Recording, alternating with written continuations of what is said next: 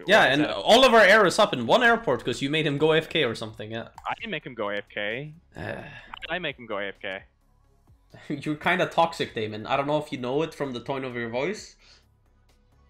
No, I wasn't being toxic. He fucking he started screaming, man. Yeah. I asked for air three times and he like yelled at me, man. He's just an idiot, dude. Because he said he couldn't give it to you. Well,